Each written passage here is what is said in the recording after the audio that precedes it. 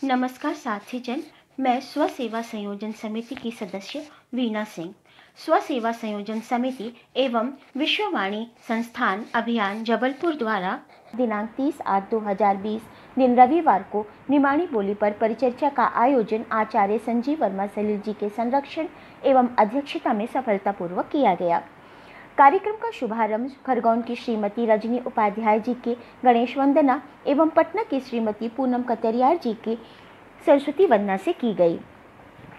कार्यक्रम के मुख्य अतिथि अखिल निर्माण लोक परिषद के अध्यक्ष कुंवर उदय सिंह अनूप जी थे एवं विशिष्ट अतिथियों के रूप में अपनी उपस्थिति दर्ज कराई भाषा विज्ञानी मणि मोहन चौरे जी, श्री राम गरीब पांडे विकल जी जानकी रमन महाविद्यालय जबलपुर में दर्शन शास्त्र के व्याख्याता श्री कौशल दुबे जी एवं पश्चिम रेलवे जबलपुर में उप मुख्य सतर्कता अधिकारी श्री वसंत कुमार शर्मा जी ने परिचर्चा का आगाज़ किया। बड़वा के श्री शिशिर उपाध्याय जी ने कार्तिक पूर्णिमा में गाए जाने वाले गीत को गाकर, रात पानी माँ रात पानी माँ तारा उतरी आया नरबदा जी माँ दीपक सिराया। रात पानी माँ तारा उतरी आया नरबदा जी माँ दीपक सिराया। हमने कार्तिक पुण्यों का गीत गाया नरबदा जी माँ दीपक सिराया। ओंकार महाराज की जतरा भराणी, सासू ननद संग देरानी जेठानी रेवा मैया माँ मई नरबदा माँ, डूबी डूबी नहाया। नरबदा जी माँ दीपक सिराया। रात पानी माँ तारा उतरी आया। नरबदा जी माँ दीपक सिराया। निर्माण की भौगोलिक स्थिति से परिचय कराया श्री सुरेश कुशवाहा तन्मय जी ने, जो इस परिचर्चा के मुख्य स्तंभ भी रहे।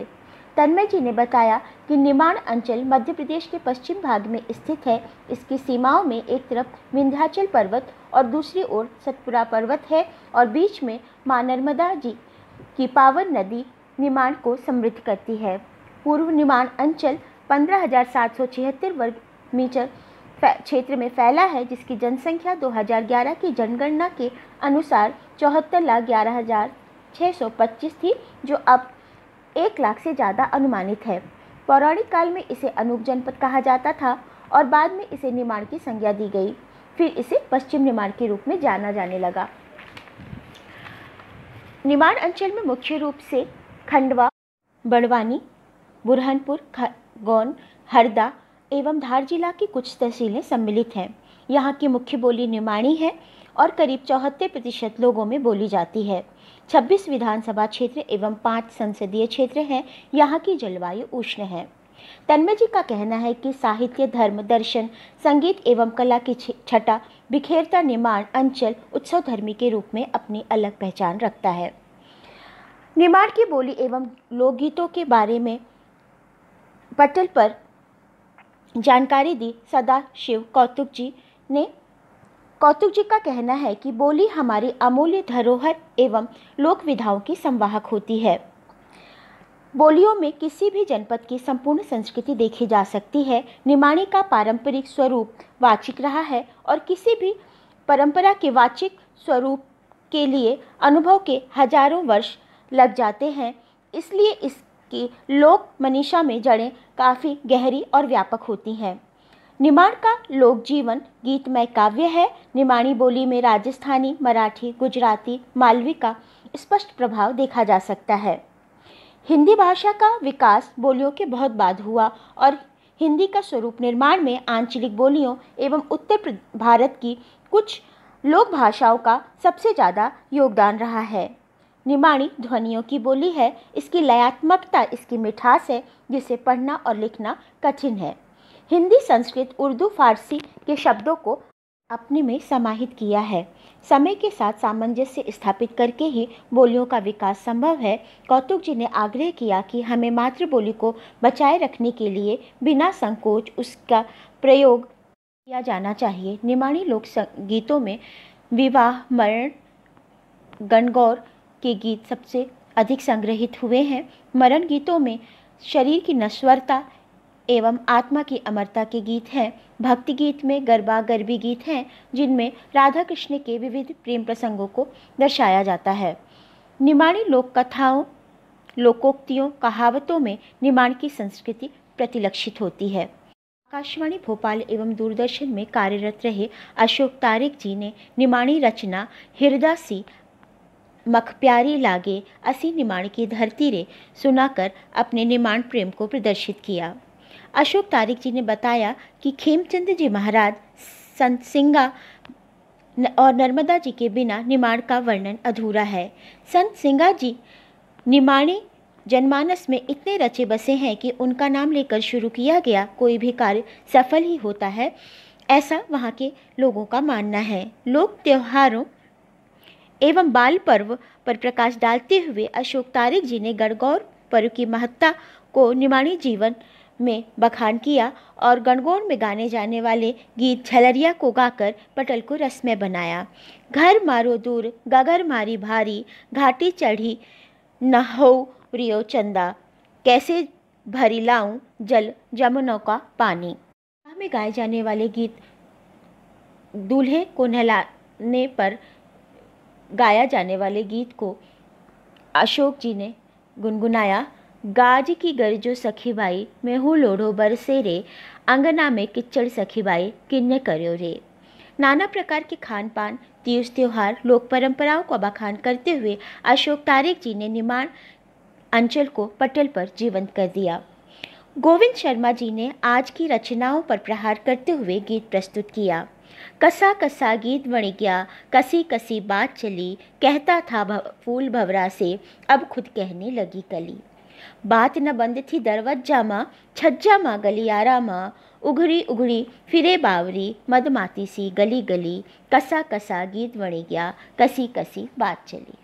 मणिमोहन चौरे जी ने निमाणी बोली के वैज्ञानिक अध्ययन के पक्ष को उजागर किया और विलंबित आ के महत्व को बताया जिसे अयोगवाचक वर्ण भी कहा जाता है। विलंबित अ, जिस वर्ण में लग जाता है, उसकी ध्वनि, वर्तनी, रूप और अर्थ सबके ऊपर अपना प्रभाव डालता है, इसका प्रयोग निमाणी में बहुतायत से किया जाता है। अनेक उदाहरणों को प्रस्तुत करते हुए विलंबित अ का चौरे जी ने विस्तार से समझाया और श्रोतागणों में निमाणी बोली के प्रति उत्सुकता बढ़ाई। इसी तरह अनेक विशिष्ट वर्णों को आधार बताते हुए चौरे जी ने निमाणी को भाषा का दर्जा देने के लिए ज़ोर दिया। निमाण के सम, का संपूर्ण परिचय दिया सौरभ लाड जी ने। लाड जी ने निमाण का चित्रण करते हुए वहाँ के खान पान को पटल पर साझा किया। दाल बाटी, पूरन पूली, ज्वार का रोटा, भाजी हर त्यौहार में बनाई जाती हैं। यहाँ की वेश, प्राचीन वेशभूषा का ज़िक्र करते हुए सौरभ लाड जी ने बताया कि निमाणी धोती अंगरखा, काली टोपी, फेटा या पगड़ी मुख्य रूप से यहाँ के परिधान थे जो अब सुविधा अनुसार बदल रहे हैं। त्योहारों में राखी, होली, दशहरा, दिवाली के अतिरिक्त माई गणगौर मुख्य त्यौहार है। किसान अपने पशुओं को शुक्रिया कहने के लिए पोला का त्यौहार भी मनाते हैं। लाड जी ने गरीब आदमी का उल्टा पाँव कविता को पटल पर साझा किया। आगा चला ना पाछे जाए गरीब उल्टा पाँव। कर्जो करी ना बीजे लावा, बीज लाई ना पानी मनावा पानी मनाई ना फ़सल बावा फ़सल काटी ना बाज़ार बतावा। भाव देखी ना गरीब आदमी का उल्टा पाँव। सेवानिवृत्त शिक्षिका शांता गीते जी ने मुहावरों को उनके अर्थ के साथ पटल पर साझा किया। घर घर फिरू, न मारे नाव घेरू। ऊँट को लोन देने जाणू घर का वड़ी वनमा गई वनमा लगी आग। वन विचारो काय करी, करम छोड़ी साथ। हऊ रानी तू रानी त कौन भरा पानी? बेटी की माँ रानी ना बुढ़ापा में भरा पानी। निमाण के त्योहारों में एक है संजा माता, जिसे रजनी उपाध्याय जी ने श्रोतागणों के समक्ष रखा। संजा माता त्योहार में छोटी छोटी बत्तियाँ बच्चियाँ दीवारों पर गोबर के गौरी शंकर जी घर किला बनाती हैं और गीत गाती हैं। छोटी सी गाड़ी रुड़कती जाए, रुड़कती जा। जे मामा बैठा, संजा माई भागरा घमघौता जाए। चूड़ी लो खनकौता जाए, बीच बीछिया चमकौता जाए। छोटी सी गाड़ी रुड़कती जाए रुड़कती जाए। शरद त्रिवेदी जी ने निमाण के लोकगीतों के महत्व को बताते हुए कहा कि यहाँ के लोकगीतों में निमाण की संस्कृति समाहित है। गणेश वंदना कैसे अलग अलग अवसरों में अलग अलग होती है, विस्तार से समझाया। यहाँ हर अवसर के गीत हैं। चैत्र मास में बनाए जाने वाले त्यौहार गणगौर में गाए जाने वाले गीत को गाकर शरद त्रिवेदी जी ने पटल को उल्लासमय बनाया। विवाह में हर विधि के गीत गाए जाते हैं। हर त्यौहार के गीत हैं। अनेकों गीत गाकर शरद जी ने बताया कि कम समय में यहाँ के लोकगीतों का बखान करना संभव नहीं है। देवी के अनुपम, देवी अनुपम रूप सुहाना, अन्नपूर्णा थारा रूप की बलिहारी हो देवी शारदा, देवी अनुपम रूप सुहावना।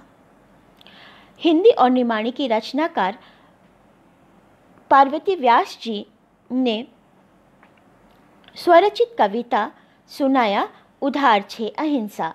बापू को अहिंसा जो देश ब उधार छे, कसो चुकाओ कर जा अहिंसा को बाज़ार छे, जो बहुत सुरीली और सटीक बन पड़ी। परिचर्चा की सूत्रधार विनीता शर्मा जी ने कार्यक्रम को अपनी सहज और सरल निमाणी बोली से सजाया और लघु कथा भी सुनाई। ब्रजेश बड़ोले जी ने माना कि आधुनिकता ने निर्माण जनजीवन को प्रभावित किया है और इसके रूप को भी बदल दिया है। संत सिंगा जी निर्माण साहित्य के आधार हैं। अखिल निर्माण लोक परिषद के सहयोग से तीस हज़ार शब्दकोश तैयार किए गए हैं। खान पान की विविधता को विस्तार से ब्रजेश बड़ोले जी ने प्रकाश डाला एवं धार्मिक प्रवृत्ति की महिलाओं के सुंदर रूप को पटल पर वर्णित किया। निमाण अंचल अपने लोक संस्कृति, लोक साहित्य, कथाओं, गीतों रीति रिवाजों एवं अपनी सरलता, सहजता के लिए जाना जाता है। मुख्य अतिथि कुंवर उदय सिंह जी ने बताया कि 1950 के बाद निमाण का मौलिक साहित्य लिखित रूप में उपलब्ध है। माखनलाल चतुर्वेदी जी की प्रेरणा से 19 सितंबर उन्नीस सौ तिरपन में अखिल भारतीय निर्माण परिषद का गठन किया गया, जिसे 2002 में पुनर्गठित कर इसको अखिल निर्माण लोक परिषद का नाम दिया गया।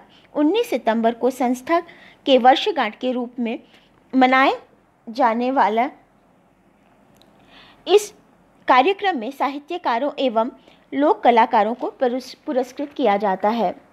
भारत में बोली जाने वाली भाषा हिंदी एवं इसकी समस्त बोलियों का ज़िक्र करते हुए परिचर्चा के अध्यक्ष आचार्य संजीव वर्मा सलील जी ने कहा कि हिंदी के वट वृक्ष को उसकी शक्ति, उसकी उदात्तता इन बोलियों रूपी जड़ों से मिलती है।